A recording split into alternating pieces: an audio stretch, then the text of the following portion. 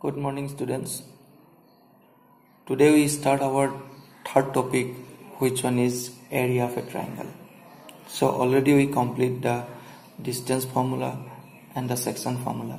So here the last topic is area of a triangle. So in earlier classes we have already studied how to calculate the area of a triangle if the base and height or altitude given to you so that's why here the first formula which one we get in class 9 all. This one we written here which one is area of a triangle and it is half into base into height. Is it clear? So now here if the base and height not given to you if the vertices are given then also we can find out the area of a triangle since in class 9 we get there another formula to find out the area of a triangle which one is Heron's formula. But here except this Heron's or this area of a triangle the basic formula we apply another one where the vertices are given and the formula is here given you see. Area of a triangle is equal to half into the three vertices are here x1 y1 x2 y2 and x3 y3 so that's why half into x1 into y2 minus y3 plus x2 into y3 minus y1 plus x3 into y1 minus y2 this one is the formula. Or this formula we can write in another way also which one is half into x1 y2 minus y1 x2 plus x2 y3 minus y2 x3 or x3 y1 minus y3 x1 is it clear so now here this one is the formula of area of a triangle. So there are some techniques are to remember these formulas.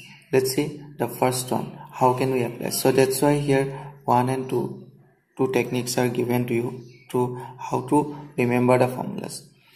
Now first of all what you have to do we have to draw a circle and we have to put the direction in clockwise direction. So here we write 1, 2 and 3 now the first formula, the first formula how can we remember with the help of this one? So what you have to do according to the formula you have to write half into this sign. All of you know this one is known as modulus. Whatever here the sign given here this sign is known as modulus. So what you have to do x1 then bracket plus x2 then bracket then plus x3 we have to put bracket. So this one is very easily we can remember x1 x2 x3 so in bracket how can we remember the result? Y2 minus y3 how can we write? So now you see here if we write x1 then in bracket what you have to write? In clockwise direction we put then after that what we get? 2 and this what is 3 so this two order we write we have to write down the y coordinate. So x1 we write in bracket you have to write y2 minus y3 you see here we write y2 minus y3 plus if you write x2 if you write x2 then according to the clockwise direction what you have to write? Y3 minus y1 you see here y3 minus y1 we write similarly if you write x3 then what you have to write? Y1 minus y2 we have to write. So in this way you can remember this formula. Is it clear now the next one is number two. The second one, how can you remember? So just you have to write down the vertices one by one. So first vertices we write x1, y1. Second vertices you write x2, y2. And the third vertices we write x3, y3. After that, again we have to repeat the first vertices. Whatever in the first place you write, the first vertices again you have to repeat x1, y1. After repeating, now you see here the cross multiplication here. According to the formula we have to write half then into then we put modulus and then we start the formula. X1 y2 minus y1 x2 you see here we write this one. X1 y2 minus y1 x2 plus second one you have to write. X2 y3 minus y2 x3 you see here we write and the last one is we have to write x3 y1 minus y3 x1 x3 y1 minus y3 x1 so in this way you can remember the formula. So two technique or two methods are there. You can use any one of this one. Both of them are comfortable. So you can apply any one of these. Is it clear? Okay. Let's take an example to find out the area of a triangle so in this case you see we consider a triangle ABC with the coordinates 5 2 4 7 and 7 comma minus 4 so how can you find out the area of a triangle using the triangle formula? So here both the techniques both the methods are applying here. Let's see the first one. So if we consider the first coordinate is here x1 y1 if it is x2 y2 and if it is x3 y3 if we consider. So we write accordingly 5 2 4 7 7 minus 4 and then the first coordinate or the first vertices again we have to repeat here which one is 5 2 now after that now area of a triangle abc if you have to find out then half into modulus. Why we put modulus you know? Because area of a triangle never negative so that's why we put modulus. So here half into modulus of then first one what you have to do 5 into 7 minus 2 into 4 so that's why here written you see 5 into 7 minus 4 into 2 or 2 into 4 similarly second one we have to write 4 into minus 4 minus 7 into 7 and the last one we have to write 7 into 2 minus minus 4 into 5 so that's how we write this. In this way if you calculate the answer you get 2 square units. Is it clear so now here the next method next technique if you are applying here to find out the area of a triangle. Now let's see what you have so in clockwise direction you have to just write down the coordinates 5 2 4 7 and 7 comma minus 4 now according to the formula we have to write half into then we have to write modulus. Then the first x coordinate is what here? 5 x1 into what you have to write? Y2 minus y3 what is y2 y2 is 7 and y3 is what minus 4 so that's why we write 5 into 7 minus minus 4 is it clear? The next one is second coordinate we have to write x2 x2 means 4 x2 into y3 minus y1 y3 is what minus 4 and y1 is what minus 2 here we write.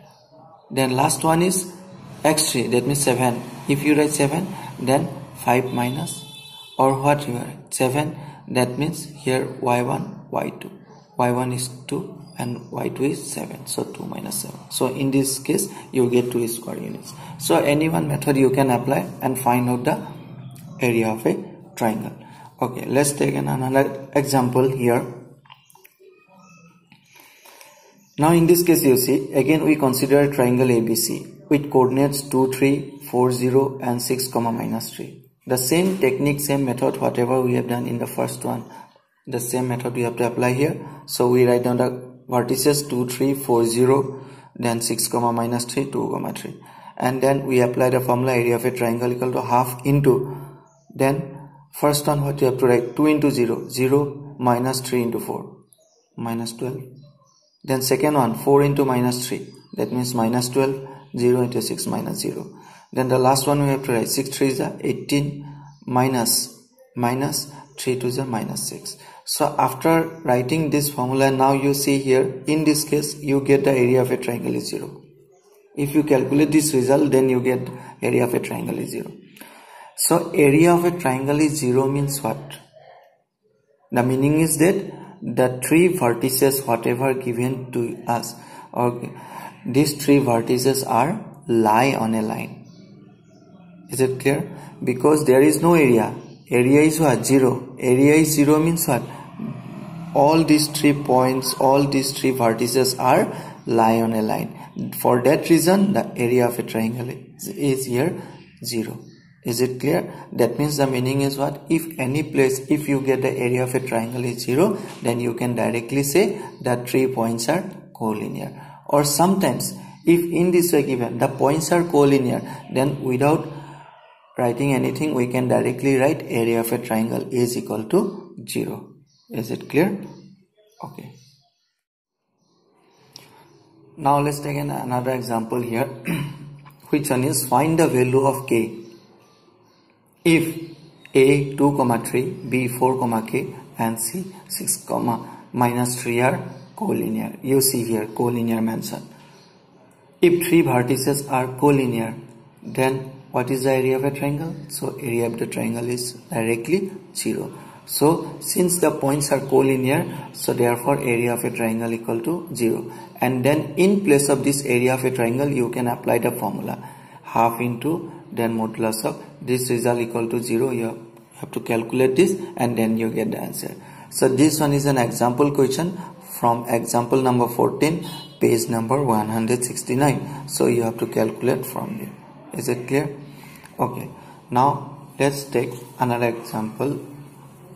Actually this one is a question from your exercise exercise 7.3 i think this one is question number uh, 3 yes it is a question number 3 so now here question number 3 not written here this one question number 3 so now here three vertices are given to you a b and c.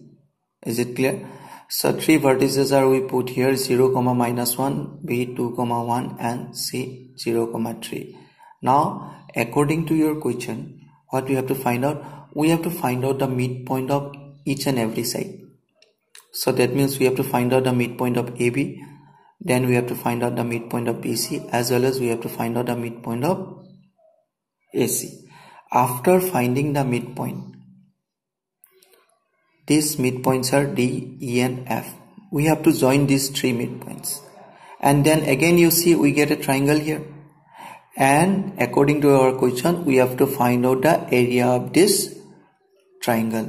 After joining the midpoint, whatever the triangle we get, we have to find out the area of this triangle and then after that you have to find out the ratio also ratio means the area of triangle DEF divided by the area of triangle ABC then you get the ratio.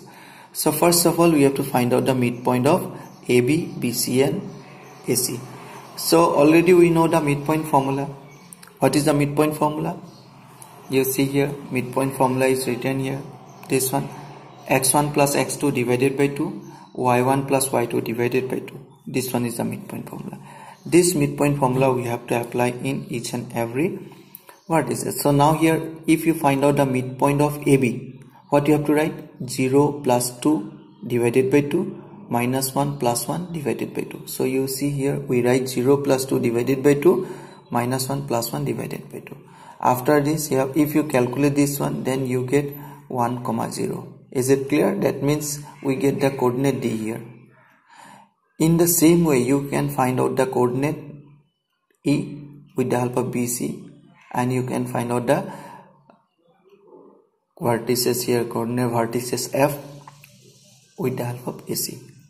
After getting these three vertices, easily you can find out the area of DEF using the area of a triangle formula. And after finding the area of a triangle finally you have to find out the ratio. Ratio how can you find out? You have to just write area of a triangle DEF divided by area of triangle ABC and then just you have to find out put the value here. Area of a triangle DEF is how much?